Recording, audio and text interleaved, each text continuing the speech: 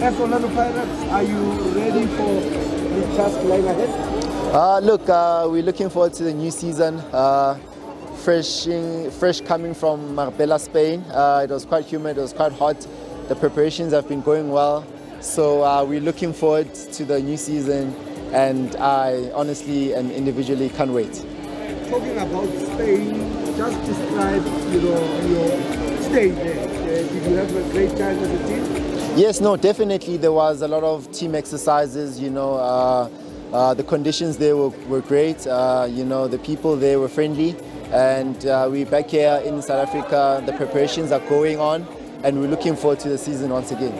Having finished as runners-up and winning the two other trophies, surely the aim is to improve on your last season's performance. No, yes, definitely. We've set the bar high for ourselves. You know, we're looking forward to the season. And as I said, uh, we can't go above two trophies now. We have to double it or do better. And the question always is Sundowns, will there be a team to topple them from the top? We saw, and we all know the record, they've won six league titles in a row. Yes, no, definitely. Uh, look, uh, we've brought in some nice, exciting, uh, talented football players in the, in the institution, and we're looking to groom and unite as brothers, and you know, unity and brotherhood. With that on our side and team spirit, nothing can stop us.